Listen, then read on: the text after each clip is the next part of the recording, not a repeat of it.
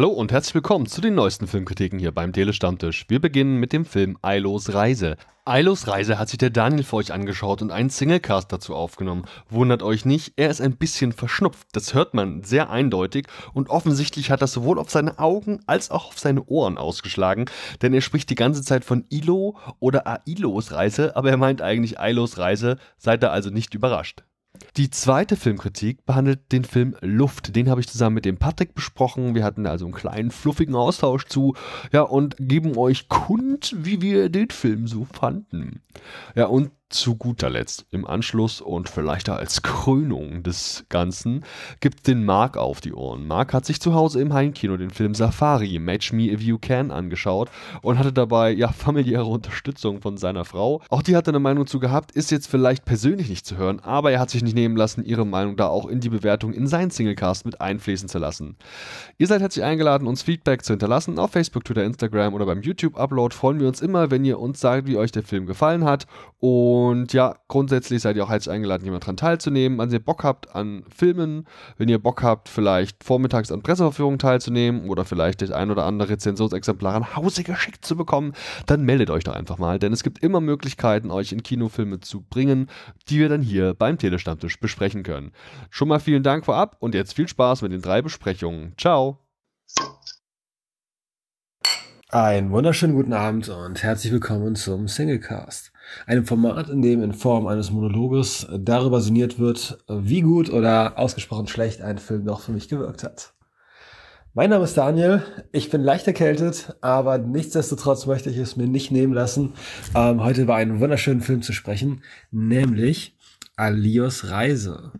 Den Film habe ich gesehen und ich muss sagen, ich bin absolut hin und weg. Es ist ein Ganz, ganz toller Film. Und auf welche Reise ich mich begeben habe, dazu komme ich gleich. Äh, erstmal ein paar Fakten. Der Film ist ähm, eine Stunde und 26 Minuten lang, startet am 14. Februar 2019 in den Kinos. Und ja, der Film wurde produziert von äh, Guillaume Madachewski, auch ein Autor, der äh, für mich jetzt noch nicht im Vorfeld irgendwie was äh, gemacht hat, was ich jetzt irgendwie kennen würde. Ja, und da es halt eine Dokumentation sozusagen ist, ähm, so im dokumentarischen Stil, haben wir auch ein wunderschönes Voice-Over und das ist keine geringere als gesprochen von Ankel Engelke. Ja, und ähm, der Film ist aus dem Produktionsland Frankreich und zeigt Alios, welches ähm, ein neugeborenes Rentier ist und zeigt halt in einem, in einem äh, Zeitraum von einem Jahr, welche Abenteuer sich dieses kleine Rentier stellt. Am Anfang wird es begleitet von seiner Mutter, welche sich entschieden hat, dass sie sich um äh, das Kind, also um das, um das Babyrentier kümmern möchte. Und ja, es wird halt größer und wächst halt in dem Jahr zu einem wunderschönen Rentier heran. Und das, was wir halt auf dieser Reise sehen, ist äh, wunder wunderschön. Es hat mir super viel Spaß gemacht, Alios daran äh, zu begleiten und mit ihm diese Reise zu gehen. Es ist irgendwie eine Reise selber auch, die man mitmacht. Denn äh, es zeigt halt auch, dass man, äh, dass es Zeit braucht, um erwachsen zu werden, sozusagen, dass es Zeit braucht, eigenständig zu werden, dass man sich auch vor Situationen stellen muss und auch oftmals überfordert ist und dennoch die Situation für sich erfolgreich abschließen kann. Und ja, das hat einfach Spaß gemacht. Also ich, es ist wunderschön von den Bildern her.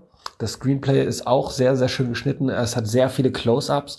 Ähm, ich finde es faszinierend, wie gut das gefilmt einfach ist und wie man es geschafft hat, auch so nah an die Tiere heranzukommen.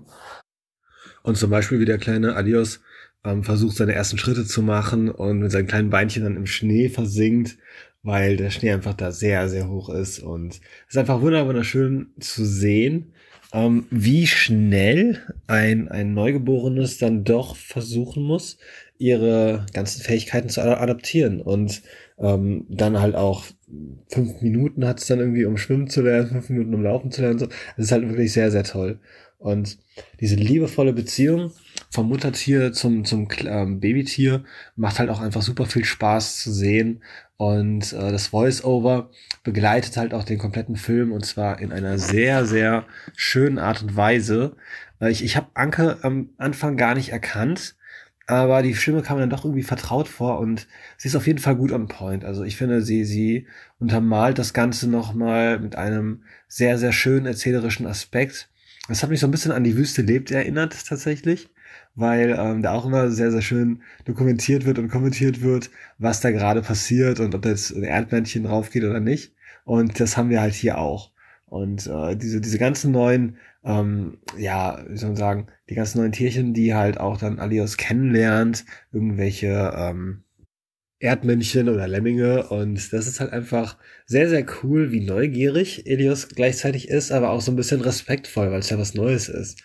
Und ja, es macht einfach Spaß, ihn auf diese Reise zu begleiten. Es hat mir Spaß gemacht, diesen Film zu sehen.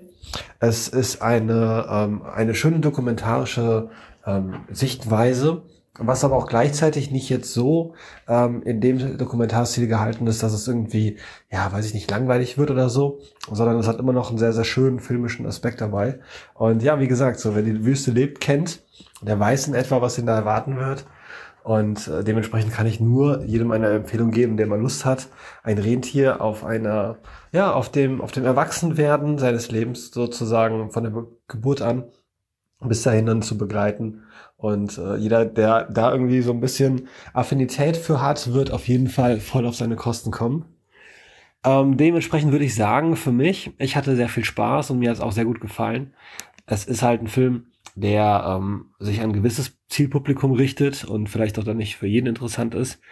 Aber für naturliebende Freunde auf jeden Fall ein toller Film.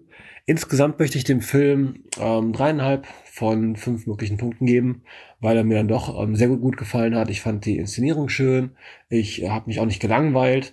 Und diese Naturaufnahmen einfach mal so zu sehen und vor allen Dingen halt auch so dieses ähm, Verhalten der Tiere, was ja dann, obwohl die Kamera ziemlich wohl nah sein oder nah gewesen sein muss, ähm, fand ich es doch erstaunlich, wie, wie äh, ruhig das alles wirkt und dass man halt mal so einen intimen Einblick quasi in das Tierleben kriegen kann. Das hat Spaß gemacht, auf jeden Fall. Von daher für mich ähm, eine wunderschöne Reise, die ich mit Adios gegangen bin und eine tolle Empfehlung an alle, die Lust haben, mal ein wenig mehr Connection zur Tierwelt zu erlangen. Und ja, von daher guckt euch es auf jeden Fall an. Es wird Spaß machen, ihr werdet es nicht bereuen. Und ja, das war's von mir.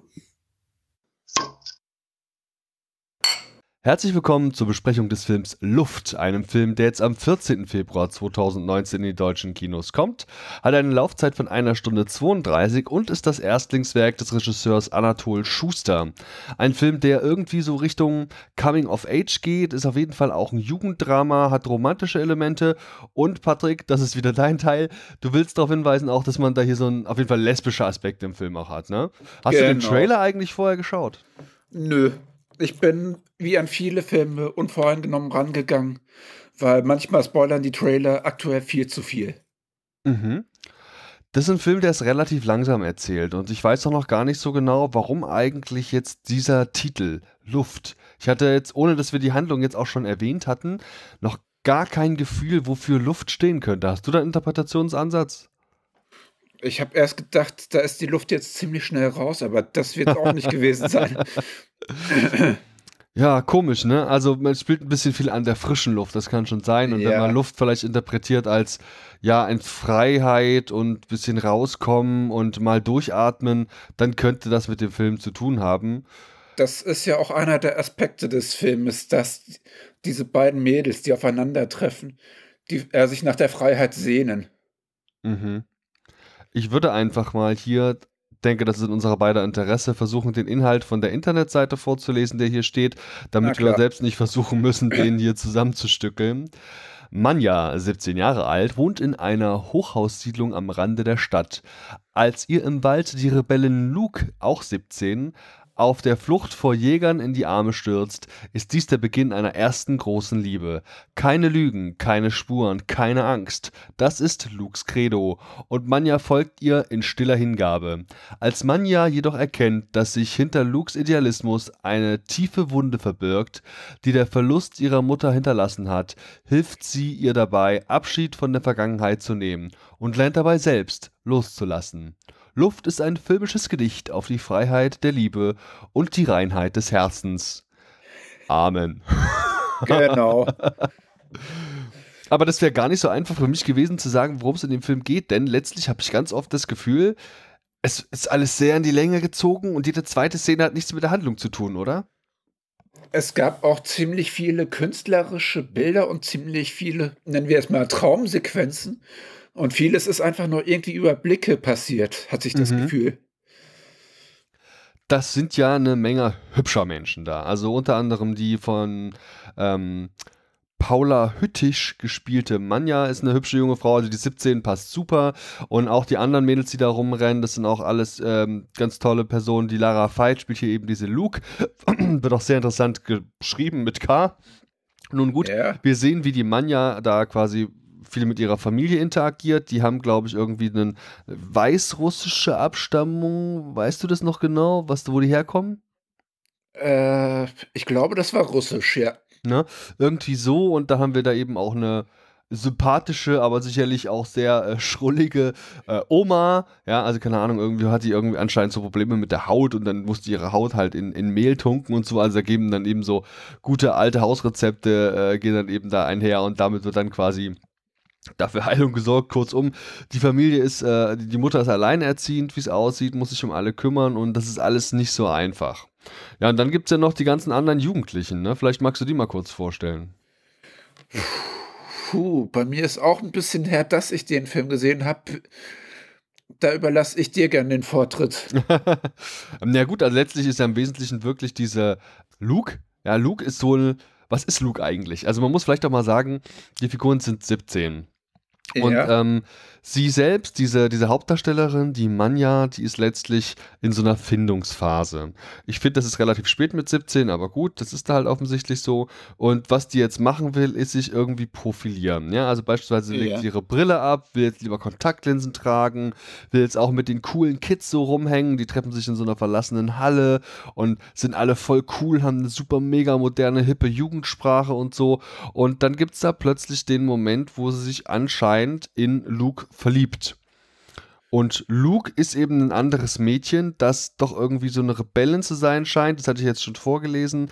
Beziehungsweise yeah. die so ein bisschen, ich will nicht sagen, die Gruppe unbedingt anführt, aber ganz sicher da heraussticht. Es gibt eine Szene mit einer Mutprobe, wo sie heraussticht. Sie hat eine Handvoll Monologe zu halten, wo sie für die Freiheit ist und so. Ja, und deswegen ist sie da halt einfach offensichtlich jemand, den die Manja sehr interessant findet. Ja, das auf jeden Fall auch, aber man kann auch schon mal direkt dazu sagen, mir kamen diese 90 Minuten irgendwie deutlich länger vor und irgendwie ist mir da nicht wirklich viel passiert. Hm. Ich weiß nicht, wie es dir da ging. Diese Mutprobe und so, ja, wir hangeln uns da wirklich ran und versuchen so Stellen rauszusuchen, wo was passiert ist. Aber ich nenne auch zum Beispiel mal so eine Traumsequenz, wo viele auf Bäumen standen, wo ich mich gefragt habe, okay, was sollte das denn jetzt? Ja, Definitiv ist da viel Kunst drin und das ist, wie gesagt, ja auch ein Erstlingsfilm von Anatol Schuster. Und insofern möchte ich da das gar nicht so sehr überbewerten. Ich weiß auch gar nicht so genau, wie die Vorlage war. Also das, das, das Skript selbst ist ja auch von ihm und einer Britta Schwemm wohl geschrieben worden. Und ich weiß nicht so genau, was die erzählen wollten. Das ist immer so ein bisschen das Problem bei schlichten Coming-of-Age-Filmen mit Selbstfindungsthemen dass da letztlich ja genau das eben erzählt wird. Personen, junge Personen, die sich so ein bisschen selbst kennenlernen, ja, sich profilieren. Und das ist halt jetzt hier irgendwie auch irgendwie alles. Also ich finde jetzt auch ehrlich gesagt nicht sonderlich spannend, wie die lesbische Beziehung von ihr dargestellt wird. Da passiert schlichtweg nichts. Aber das ist vielleicht auch meine Perspektive, die ich halt schon den ein oder anderen Film gesehen habe und die ein oder andere Lebenserfahrung gesammelt habe. Für mich ist es jetzt nicht sonderlich besonders, was ich da sehe. Nee, vor allem gefühlt die äh, nach dem spektakulären Anfang, der wirklich mit einer Explosion anfängt, wo die sich mehr oder weniger schlagartig ineinander verlieben, wie es auch in der Inhaltsangabe ist. Danach passiert erstmal bis zum letzten Drittel nicht großartig viel außer Mutproben und dieses Abgehänge in der Gang. Hm. Und eben die Familiengeschichte, die da auch aufbereitet wurde. Was es ja auch noch gibt, da man durch mal erwähnen, es gibt ja noch diese Nachbarin, beziehungsweise die, die diesen verrückten Mann eben auch hat. Also ich will jetzt gar nicht so viel dazu erzählen, aber er ist offensichtlich total irre und das ist eine mega Belastung für die Familie. Die Kids flüchten immer in die Wohnung auch von Manja und ihrer Mutter. Hast du verstanden, was das sollte? Welchen Mehrwert das jetzt geboten hat? Oder geht es einfach nur darum, den Alltag Manjas zu zeigen? ich glaube, das war irgendwie der Alltag, aber ich habe da irgendwie auch eine falsche Fährte drin gesehen, dass das am Schluss irgendwie noch Eskalationsmaterial bringt, was ja auch nicht passiert ist. Mhm. Es das spielt einfach keine Rolle mehr, ne? Ja, nee, ich habe ich hab gedacht, dass dann vielleicht später vielleicht diese Luke da eingreift und sich dann da noch mehr profiliert, aber auch das ist nicht passiert. Mhm. Der Film selbst, ich denke, da könnten wir jetzt auch so langsam einem Fazit übergehen, ist, ähm, ja, das ist ein Film, ich weiß nicht, ob man den gesehen haben muss, ganz ehrlich. Also, der ist wahrscheinlich auch für so eine Zielgruppe gedacht, die so um die 14, 15, 16 ist. Er ist natürlich auch so ein bisschen so ein Ding, da kann man drüber sprechen. Also, wie krass können Mutproben sein?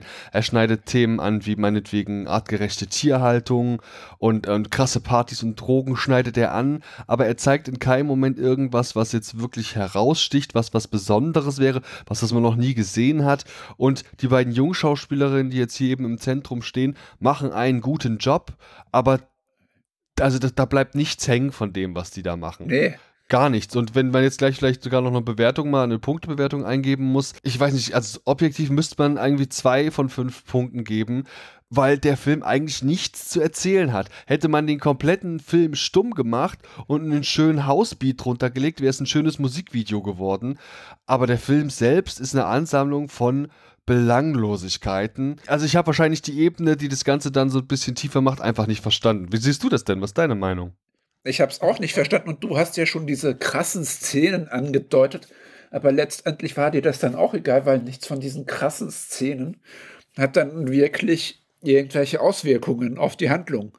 Nichts davon. Das ist dann halt so da und im nächsten Moment ist es schon wieder weg. Mhm. Das ist gerade dann auch beim Ende, da, äh, da gibt es eine tragische Stelle, will ich nicht spoilern, aber dass die, äh, dass die beiden dann danach noch so weiter irren können, fand ich schon ein bisschen befremdlich. Mhm. Ja. Du weißt, worauf ich hinaus wollte. Durchaus. Ich wollte es jetzt noch nicht erwähnen. Okay. Wie viele Punkte würdest du denn vergeben und vor allem warum? Ich würde 2 bis 2,5, weil die Bilder sind halt einfach schön. Nur dieser Film weiß nichts mit den guten Darstellern und nichts mit den Bildern anzufangen. Also da ist wirklich einiges an verschenktem Potenzial und ob das dann Jugendlichen groß gefällt, würde ich jetzt auch bezweifeln, weil dafür ist einfach kein Tempo drin. Mhm, guter Punkt.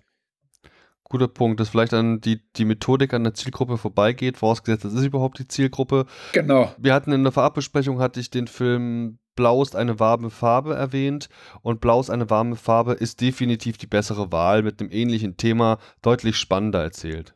Und der hat auch seine emotionalen Highlights. Mhm. Ganz eindeutig. Patrick, vielen Dank für deine Zeit und dass du, die, dass du dir diese genommen hast, obwohl du definitiv ja auch gerade ein bisschen erkältet bist und erkrankt. War mir eine wahre Freude. Bis zum nächsten Mal. Na klar. Ciao. Bis demnächst. Ciao. Hallo Leute, ich grüße euch. Marc hier. Ich äh, durfte mir gestern Abend mit meiner Frau zusammen den Film Safari Match Me If You Can anschauen. Der Film ist seit Ende Januar als DVD, Blu-ray und auf den gängigsten Streaming-Plattformen zu haben und lief letztes Jahr im August auch im Kino. Und der Film ist äh, von Rudi Gaul und zu der Zeit, als der Film lief, wollten ihn ca. 250.000 Leute sehen. Der ganze Film läuft 102 Minuten und ist ein klassischer Episodenfilm in Form einer Komödie. Die Altersfreigabe hier wäre äh, bei 12 Jahren. Wobei ich sagen muss, ich würde gern die Zwölfjährigen sehen, die diese, sich diesen Film auch wirklich im Kino angesehen haben. Denn äh, die Sprache, die da stattfindet, ist doch sehr explizit und äh, ja, könnte vielleicht so ein bisschen für Fremdschämen sorgen. Im Film als solches geht es um eine Dating-App mit dem Namen Safari, die eigentlich nur dazu da ist, um das Vorspiel zu überspringen und sofort in der Kiste zu landen. Wie die ganze App dann auch im Alltag funktioniert, zeigen uns hier diverse Charaktere, unter anderem die Mona, 50 Jahre, Immobilienkauffrau oder Maklerin und Mutter einer 25-jährigen Tochter. Der Harry ist Pilot, Laura ist die Influencerin und der David ist der schüchterne Charakter. Dazu kommt noch der alleinerziehende Vater Live und auch noch eine Single-Grafikerin, die gerne Yoga macht und natürlich auch Veganerin ist. Dazu kommt noch der Arif, der klassische Aufreißer-Typ hier in diesem Film, der zufälligerweise natürlich auch Online-Videos zur Verfügung stellt, wie man am besten Frauen aufreißen kann. Somit sind also natürlich alle klassischen Klischees im Film vertreten. Ich möchte auch gar nicht groß spoilern, aber ich würde gern kurz anreißen, was in den ersten 30 Minuten so passiert, damit man mal einen Eindruck kriegt, wie der Film als solches funktioniert. Wer jetzt nicht gespoilert werden möchte, kann gerne dann zu meinem Fazit springen. Okay, in den ersten Minuten vom Film starten wir mit unserem Piloten Harry und wir sehen ihn bei einem One-Night-Stand vermutlich arrangiert mit der App Safari. Seine Eroberte ist hier in dem Fall die Laura und die Laura ist eigentlich auf der Suche nach, der, nach dem wahren Prinzen und äh, der wahren Liebe. Das postet sie auch fleißig, weil sie ist ja Influencerin und postet dann direkt mal von der Toilette aus, wie toll es ist, enthaltsam zu leben und dass sie ja wirklich nur Sex mit ihrem richtigen Prinzen haben will. Natürlich hat Harry nach dem Sex auch gleich ganz eilig, weil er kommt ja schon zu spät zu seinem Flug. Wir sehen dann, wie er das Haus verlässt und plötzlich anfängt, ähm, seine Abzeichen abzureichen. Er nimmt seine Mütze ab, nimmt die Kordeln ab, nimmt auch das Logo der, der Fluggesellschaft ab und man erahnt, dass er eigentlich doch in Wirklichkeit kein Pilot ist, vermutlich nur Straßenbahnfahrer. Kurze Zeit danach findet Laura über Safari den David. Das kurze Techtelmechtel endet viel zu früh und für Laura im Desaster, weil David ein After-Sex-Selfie postet und daraufhin ihr ganzes Image flöten geht. Ach ja, und natürlich ist der David auch äh, in der Therapie bei der Frau von Harry, unserem Piloten. Dort versucht er gemeinsam mit ihr das Problem des zu frühkommens zu bewältigen anhand von Hund schnappt Würstchen-Metaphern. So, das war es jetzt auch schon mit dem ähm, Spoiler-Talk. Der sollte euch jetzt nur kurz mal einen Einblick geben, wie der ganze Film vom Rhythmus her funktioniert und was alles ähm, thematisiert werden wird Mehr würde ich gar nicht mehr über den Film sagen wollen und ähm, ihr könnt euch gerne selber ein Bild machen. Ich würde jetzt noch mal ganz kurz äh, erwähnen, wie die technische Seite vom Film aussah und die war eigentlich ganz angenehm. Die Kameraführung und auch das Kamerabild war sehr schön. Ist halt auch mal erfrischend abseits von den gängigen Looks, die uns Schweiger und Schweighöfer aufzwingen wollen, Filme zu sehen. Und ich denke auch hier, die Schauspieler haben einen soliden Job gemacht. Manche Dialoge waren sehr holprig und ein bisschen peinlich, andere wiederum waren sehr schön beobachtet und im Detail ausformuliert. Was ich noch positiv herausstellen möchte, ist eigentlich die Musik in dem Film. Ich hätte nicht erwartet, dass die mich so packt, wie sie es gemacht hat. Weil die Musik fast besser war als der Film. Ich weiß es gar nicht. Ich weiß nicht, warum die Musik mich so angesprochen hat. Irgendwie hat die Musik eine schöne Stimmung in den Film gebracht und das hat mir eigentlich schon gefallen. Grundsätzlich kann man zu dem Film sagen, dass es kein Meisterwerk ist, aber auch keine Katastrophe. Man kann ihn ähm, doch recht gut durchgucken ohne Probleme und ideal ist der Film eigentlich, so wie bei uns, für ein Paar, was ich nicht entscheiden kann. Welchen Film gucken wir heute? Ich lieber Actionfilm, meine Frau lieber irgendeine Romanze und da findet der, der Film irgendwie so einen Weg, dass man den auch zu zweit gucken kann und als wir den Film dann fertig hatten, äh, bat ich meine Frau mal kurz zu sagen, äh, wie sie den Film fand und sie meinte nur trocken, ja, was möchtest du hören? Ich bin ja noch da geblieben bis zum Ende und du weißt, wie selten das passiert. Aus eigener Erfahrung kann ich das hier auch offiziell bestätigen. Normalerweise sitze ich bei guten Filmen auch trotzdem alleine vorm Fernsehen und gucke den zu Ende.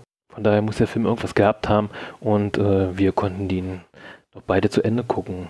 Und wenn zum Schluss nur die Musik war, ich persönlich gebe dem Film so 2,5 von 5 möglichen Punkten und finde das auch ähm, angebracht.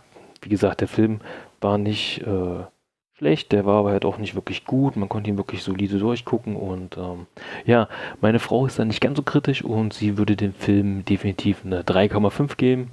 Und das heißt, im Endeffekt könnte es eine gute 3 werden und somit ist vielleicht der Film was für ein Pärchenabend.